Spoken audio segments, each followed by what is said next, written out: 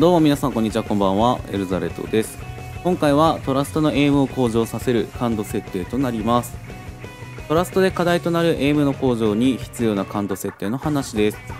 感度設定は個人差もありますがどのように設定するのかそもそもジャイロと操作感度の違いなどいろいろあります。そこで今回は試し打ちでは話せなかった感度設定とその説明を重点的にまとめたいと思います。さらに前作で XP26 リッターなどの感度の意味などを話を聞いているのでそれをトラスト視点に置き換えて話したいと思います。他の武器では使えるか正直分かりませんが考えの参考として見てもらえると嬉しいです。動画を見てチャンネルを応援してくださる方はチャンネル登録と高評価をぜひお願いします。それでは早速解説していきたいと思います。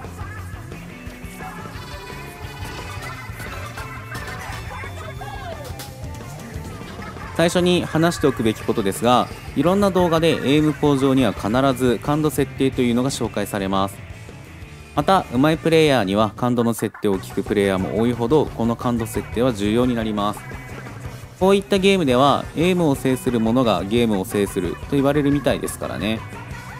ですが感度の設定をいじるだけでなぜエイムが良くなるのでしょうか。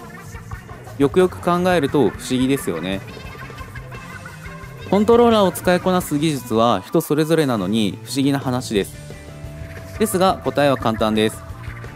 それは見直してエイム感度とコントローラーの技術が一致したからです。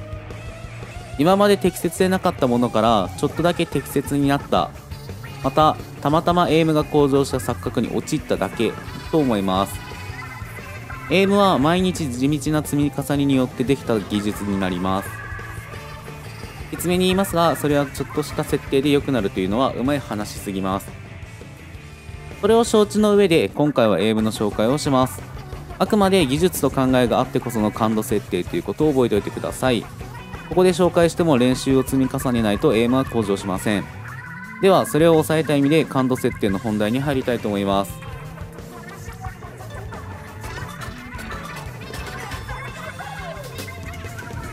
まず感度を設定する際に重要なのは2つの感度設定の活用方法を考え直すということです。ジャイロ操作と操作感度それぞれをみんなでどのように考えて設定しているのでしょうか？ほとんどの人がジャイロに合わせて近い数値にしている可能性があるかと思います。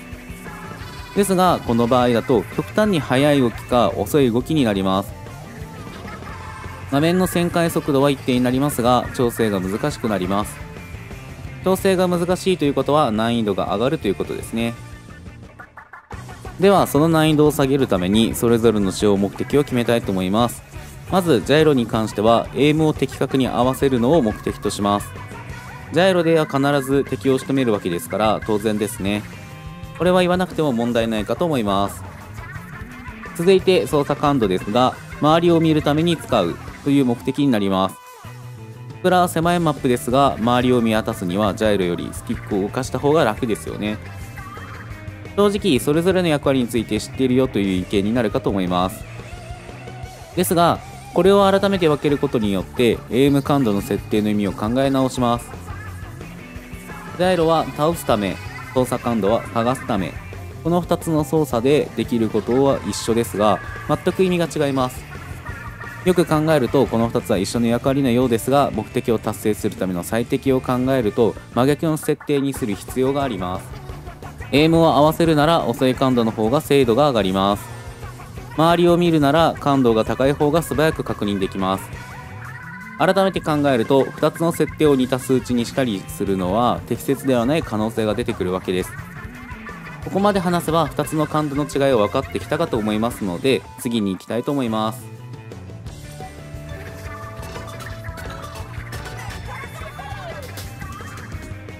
それでは2つの感度について役割が決まりましたね。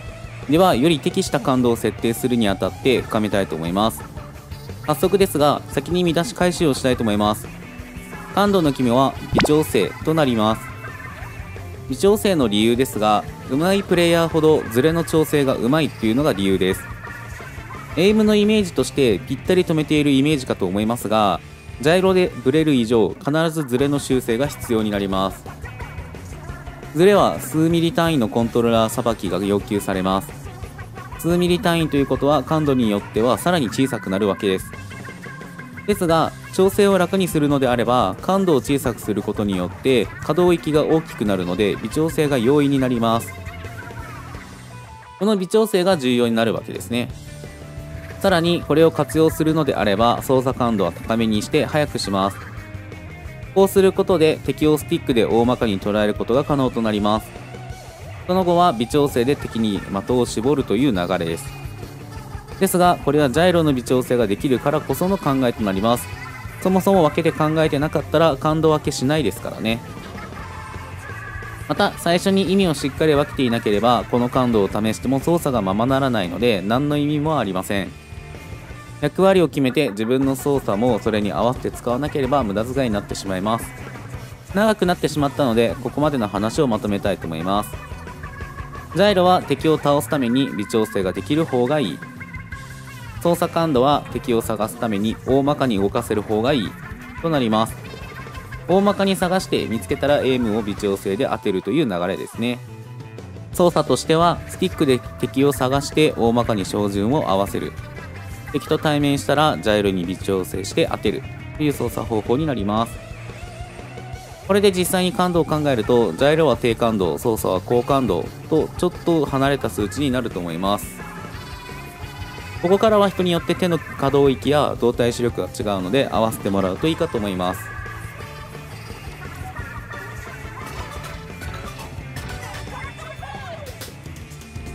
では感度の設定について話がまとまったのでメリットとデメリットについて話したいと思います。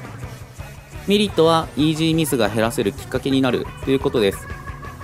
長射程武器を使う際は距離が離れているほどちょっとしたズレは敵に届く頃には大きなズレとなります。